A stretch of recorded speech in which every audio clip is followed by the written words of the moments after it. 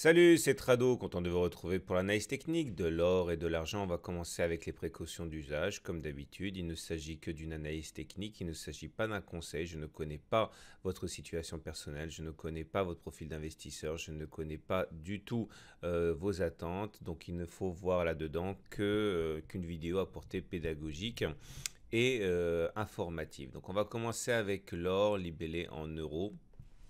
Et évidemment, l'or libellé en euros euh, eh bien, a, souffert euh, cette semaine du fait du regain de forme de l'euro, puisque forcément, si l'euro euh, gagne de la valeur, il achète plus d'or par unité, et donc forcément, ça se passe moins bien que quand l'or, lorsque l'euro baissait. Et on voit que nous sommes à nouveau en train de travailler hein, la, base du canal ascendant ici. Hein. il faut impérativement rebondir dessus. C'est le garant d'une potentielle euh, explosion haussière. Hein. mais bien sûr, il faut bien sûr, encore une fois, tenir cette, cette oblique descendante. Voilà ce que l'on a en, données hebdomadaires. Je rappelle pour ceux qui découvrent l'analyse technique ce que c'est un support et ce qu'est une résistance. Une résistance, c'est une zone qu'on a du mal à passer à la hausse. Les 40 000 euros sont une résistance, les 39 000 euros sont une résistance, euh, etc. Les 36 430 sont une résistance. Et nous avons ce qu'on appelle des supports. Des supports, c'est des zones qui nous empêchent de descendre, hein, notamment ici les 34 140. Et euh, là, vous allez donc euh, comprendre tout l'intérêt d'appliquer la méthode que j'utilise, hein, que j'ai théorisée, à savoir la méthode d'accumulation rationnelle, puisque une fois de plus, hein, qui pensait euh, la semaine dernière, quand on était sur une résistance à 36 430, hein, que l'on serait là aujourd'hui à 35 000, alors même que les conditions euh, géopolitiques, la, guerre commerciale, euh, les tensions ne se sont pas véritablement envolées. Il faut être impérativement être en mesure hein, d'accumuler régulièrement et en particulier tirer profit des décrochages. Et là, nous sommes dans un décrochage qui pourrait bien nous amener jusqu'à 34 140, puisque vous voyez, la stratégie consiste à acheter lorsque l'on casse une résistance ou lorsque l'on revient sur des supports. Par exemple, lorsque l'on a cassé 35 475, on est directement allé à 36 430. Si on avait cassé 36 430, on aurait pu aller directement jusqu'à 37 000, etc. Et c'est ce qui s'est passé.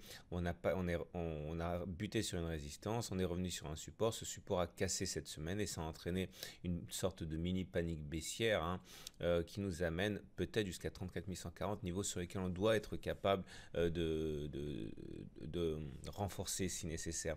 C'est pour cela, et je me répète encore une fois, qu'il faut impérativement infractionner les achats, de acheter à des moments privilégiés, sinon on est complètement ballotté à droite, à gauche. Donc pour faire simple, l'or en euros cette semaine a souffert. Euh, la résistance maintenant est celle des 35 475. Si on repasse au-dessus des 35 475, on pourrait éventuellement accumuler un petit peu. Et si on revient sur les 34 140, on pourrait également accumuler un petit peu. Voilà, et il faut toujours garder de quoi renforcer. Pour l'or libellé en dollars, c'est euh, traditionnel. Maintenant, je commence par cette vision de très long terme pour vous rappeler que si on a perdu 45% en l'espace de 5 ans ici, cela ne remet pas du tout en question la possibilité d'un départ haussier par la suite. Hein. C'est pas pour ça que ça va se produire ainsi, mais en tout cas historiquement, la dernière fois qu'on a perdu 45% après avoir augmenté de 500%, eh bien euh, on est reparti à la hausse. Donc simplement pour vous rassurer, hein, la baisse à laquelle on assiste depuis 5-6 ans ne scelle pas euh, le destin euh, de l'or, hein, loin s'en faut. Et voilà ce que ça donne en données mensuelles. Euh, le mois qui se passe est un mois plutôt difficile. Hein. On voit bien la série de bougies rouges, hein, euh, et la bougie rouge en particulier de, juin. En données hebdomadaires, ça on le savait aussi. Hein. On, avait vu qu'on avait nos résistances à 1365, à 1302. C'est très très clair sur l'or en dollars. Et on avait expliqué qu'une fois que l'on n'arrivait pas à repasser au-dessus de 1302 et a fortiori, à partir du moment où on cassait l'oblique bleu, et eh bien, il y avait des chances pour que la chute s'accélère jusqu'à 1246. C'est actuellement ce qui est en train de se produire. Donc pour faire simple, les zones d'accumulation sont le fait de revenir sur 1246, voire 1215, ou alors repasser au-dessus de 1302, mais entre-temps, à moins que vous n'ayez vraiment pas d'or du tout en, portefeuille, euh, ce ne sont pas des zones optimales pour acheter. Encore, encore une fois, hein, euh, si vous êtes des investisseurs et pas des traders, c'est l'or en euros qui doit vous intéresser, pas l'or en dollars. Hein. On va terminer avec l'argent. Tout d'abord l'argent libellé en dollars qui lui, tient mieux la barque. Hein. Euh, on se rapproche euh, euh, du support de long terme ici Orange.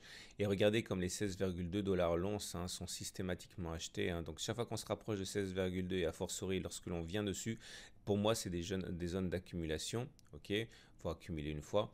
Et euh, si on revient sur 15,6, j'accumulerai, enfin je pourrais éventuellement accumuler encore, comme de la même manière euh, où on passerait au-dessus de 17,4 qui pour l'instant sont infranchissables. Entre les deux, c'est pas véritablement une zone d'accumulation. Et pour l'or libellé en euros, c'est pareil. On, on, surperforme l'or sur l'argent. Hein. Et euh, vous avez euh, là toute la, la, férocité hein, de la résistance des 461 pour l'instant qui n'arrive pas à être passée. À titre personnel, je n'achèterai pas aux entours de 461 parce que c'est infranchissable. Par contre, en cas de clôture au-dessus de 461 en fin de semaine, ce serait pour moi une zone d'intervention comme un retour sur 431. Entre les deux, encore une fois, à moins d'avoir zéro euh, argent en portefeuille, c'est pas forcément des, moments où il faut se précipiter pour acheter. C'est euh, l'argent en euros, bien sûr, qui doit vous intéresser si vous êtes un investisseur en, euros. Hein. Par contre, si vous êtes un trader, euh, vous pourriez être intéressé par l'argent en dollars. Hein. Je remets ici rapidement à ces 16,2 dollars, hein, le support. Voilà ce qu'on pouvait dire pour, euh, pour l'or et pour l'argent. Je vous souhaite une, très bonne semaine. Je vous rappelle que si vous voulez en savoir davantage sur ma méthode et sur les raisons euh, qui, pour moi, font que je fais confiance euh, dans les métaux précieux, vous pouvez toujours vous procurer mon module de formation avec ses 66 pages, ses 20 minutes de vidéo. Et si vous cherchez un partenaire de confiance, euh, ma confiance va à aucoffre.com qui permet d'accumuler des 1 gramme d'or et d'argent, hein, euh, ce qui permet de multiplier les entrées et qui est donc totalement euh, compatible avec ma méthode. Je vous dis à la semaine prochaine pour la mise à jour.